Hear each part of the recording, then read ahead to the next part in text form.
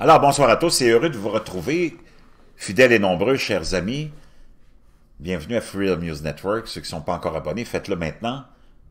C'est juste pour nous, en plus, nous qui parlons cette belle langue de Molière. Chers amis, c'est le 13, euh, le 13 novembre 2019 qui s'achève, 20h19, dans un froid sibérien ici. On gèle, ça nous traverse le corps. C'est le 13 novembre, puis il fait à peu près moins 15 à Sainte-Marthe-sur-le-Lac, avec 15 à 20 cm déjà de tombée depuis euh, deux jours. Donc, on est le 13 novembre. Imaginez-vous, j'aimerais que vous réalisiez que tout est possible, hein, c'est cyclique. Comment on pourrait réagir et comment on se préparerait si on entrait en ce moment dans un grand minimum solaire, du même type que celui de Maunder au 17e, qui a amené euh, un désastre euh, en Europe, des famines, des maladies. C'est bien évident qu'on a un équipement différent. Nos jours, nos maisons sont mieux isolées. On a le chauffage, on a l'électricité. Mais les coûts de ça, ça serait incroyable. Imaginez-vous chauffer, chauffer, chauffer. Ça coûte une fortune.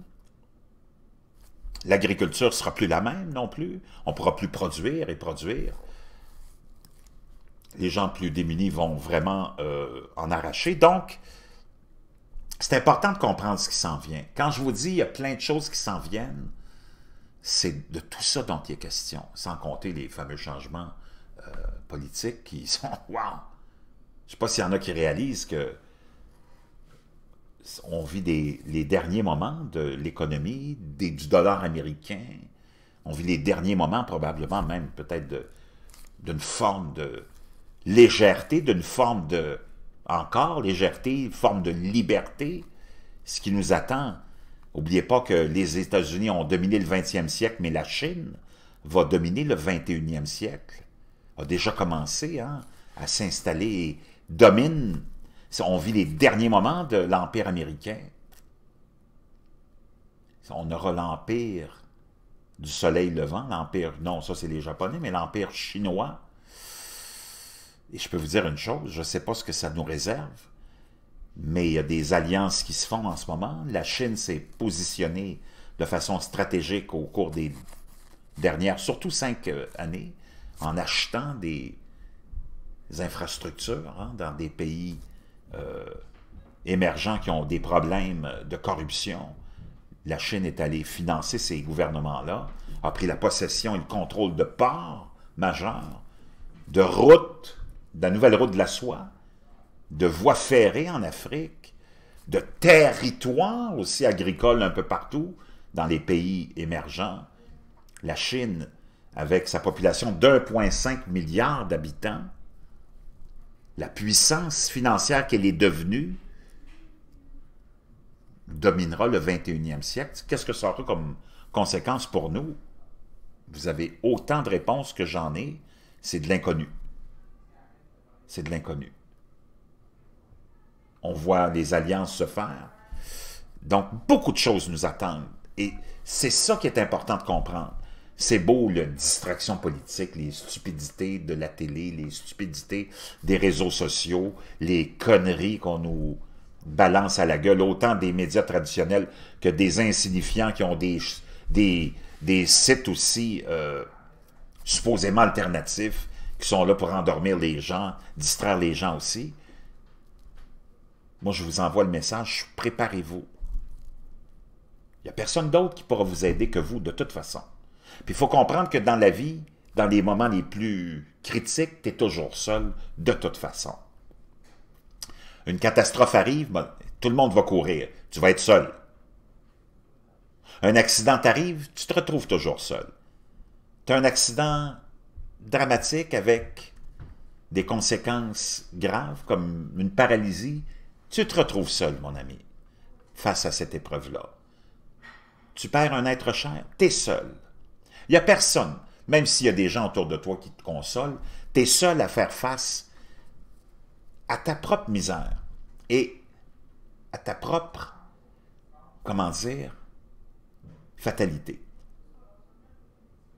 Tu vas être face à la mort, tu seras seul. tu as des problèmes majeurs qui arrivent, tous les amis disparaissent, tu es toujours seul dans les moments les plus graves. Donc, vraiment, comptez sur personne.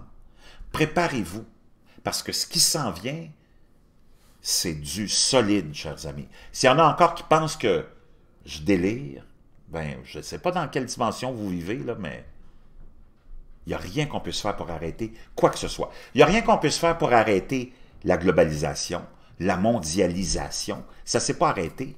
Il n'y a rien qu'on puisse faire dans cette climato-hystérie qu'on veut nous imposer et qu'on nous impose et qu'on nous imposera et toutes les taxes qui vont avec, tout le changement de, notre mode de vie qui va avec, il n'y a personne qui va arrêter ça. Il n'y a personne. C'est du délire, c'est vraiment, vraiment de l'utopie de penser qu'on va arrêter ça. C'est mondial, c'est global. Les, infrastructures, les gouvernements, les agences, les médias, les artistes, tout le monde est dans la même, même gamique, dans le même racket, puis ça va passer. Il n'y a rien qu'on pourra y faire. Il n'y a personne qui va arrêter ça. Il n'y a personne qui va arrêter la globalisation, il n'y a personne qui va arrêter la robotisation, il n'y a personne qui va arrêter la numérisation. Il n'y a personne qui va arrêter la biométrie. Il n'y a personne qui va arrêter quoi que ce soit. Comme il n'y a personne qui peut arrêter l'envahissement des gouvernements dans nos vies. Donc, c'est important de réaliser que tu as beau parler des bobettes de un, de l'odeur de scrotum aromatisé au parmesan, des bobettes de QAnon ou de toutes ces folies-là, de Donald Trump, de Salvini, d'Orban, puis de toutes ces tarés. Ces, gens-là sont là pour leur bénéfice, pour s'en mettre plein les poches, en dupant les gens qui les écoutent, en dupant les gens qui les suivent, les gens qui ont suivi Donald Trump se sont fait duper, abandonner.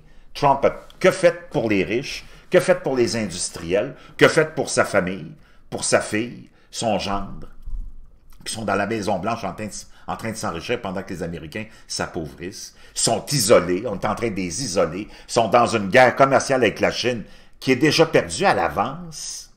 La Fed est en train d'imprimer des centaines de milliards de dollars pour donner à toutes ces banques d'investissement, à tous ces richards qui ont juste un appel à faire pour avoir des milliards de dollars, pour réinvestir dans la bourse, pour donner l'illusion que tout va bien.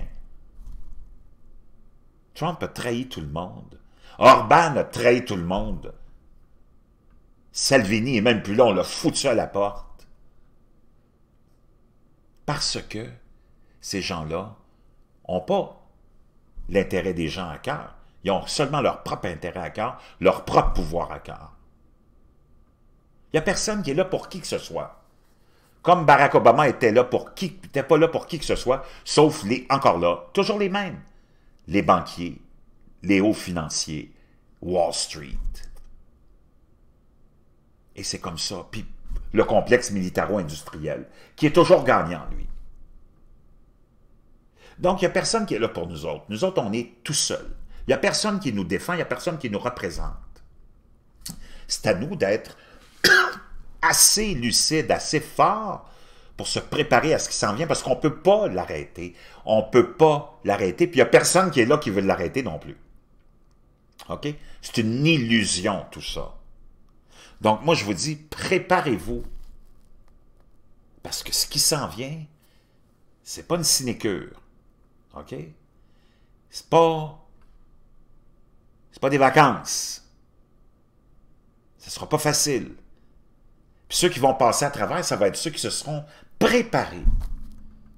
Comment tu te prépares? Ben, c'est tu sais que ça s'en vient. Déjà, c'est une bonne préparation. Moi, j'ai fait de la boxe longtemps. Quand tu sais qu'il y a un coup de poing qui s'en vient, ben, il te surprend beaucoup moins quand tu le reçois en plein milieu du front. OK? C'est quand tu t'attends pas qu'il ou tu penses qu'il n'y a pas de coup de poing qui s'en viennent, que quand il te frappe, là, je peux dire une chose, tu tombes KO. Mais quand tu sais que le coup de poing s'en vient, déjà, tu es programmé à ce que ça frappe et que ça fasse mal. Donc, déjà, tu as amorti 50% du coup. Donc, si tu te prépares, puis si tu sais que tout ce que je viens de te dire, c'est une fatalité. C'est une fatalité. Donc, tout déjà, quand ça va arriver, tu vas dire, ouais, mais je le savais. Donc, c'est pas si pire. Puis j'aurai peut-être des petites alternatives qui vont amoindrir le coût. Mais préparez-vous. Parce qu'il s'en vient. Pardon. Politiquement, financièrement, économiquement, ça, c'est sans compter ce qu'on ne contrôle pas, le climat. Là, je vous parle juste de ce qui nous entoure, qui est contrôlé par les humains. Hein? La politique, l'environnement politique, financier, économique. Ça, c'est entre les mains des humains. Puis déjà, on sait que ce qu'ils veulent nous présenter, on ne peut pas l'arrêter, puis ça va être quand même assez différent du monde qu'on connaît maintenant. Pour le reste, ce qui est climatique, il n'y a personne qui a le contrôle là-dessus. Personne. Et ça, ben, c'est la nature qui nous réserve cette surprise-là. À quel niveau ça va frapper? Quel cataclysme cyclique va venir nous frapper? Écoutez, il y en a tellement. Préparez-vous ça aussi pour le pire. Regardez ce qui se passe en ce moment. Juste ce qui se passe au quotidien.